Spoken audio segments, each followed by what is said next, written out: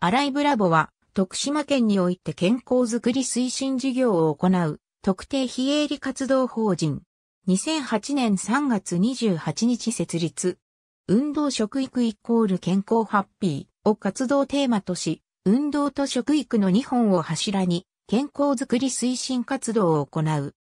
徳島で身近に起こっている健康問題に対し、山間学民の相互協力のもと、健康づくりに関する啓発、普及活動や家族、友人、地域に対して触れ合いと健康づくりの機会の提供、継続的な健康コミュニティの形成を行う。健康コミュニティ、各家庭、地域、職場、徳島県に根ざした健康をキーワードに広がるコミュニティ。平成23年からスタートした食育事業。農作物の植え付けから収穫、加工、販売という一連の流れを子供たちが体験する食育プロジェクト。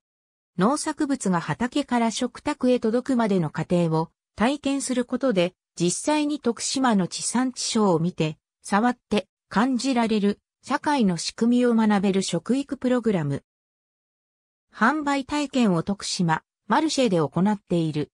野菜の栽培などの農作業から、漁業、加工体験、食とは切り離せない農具、調理道具の製作など、各体験を通じ、徳島の本物の力に触れる地産地消体験プロジェクト。